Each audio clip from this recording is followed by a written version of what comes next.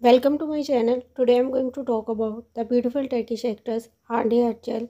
Recently, there is a news that Hande Erçel and Hakan Sabancı are going to marry, but Hande Erçel said that there is a time for our marriage because I have to work and I sign many new projects. That's why I'm not going to get married. But the mother-in-law of Hande Erçel sharing some pictures of Hande at the bridal boutique and many people start speculating that Hande Erçel and Hakan Sabancı are going to be married, but there is also such news that mother-in-law of Hande Erçel does not like her at all and she denied this marriage.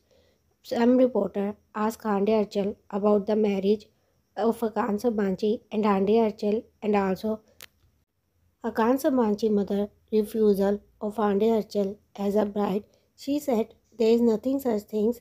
We have very good bonding and all the media report such things in our personal life. There is nothing such thing. Thank you so much.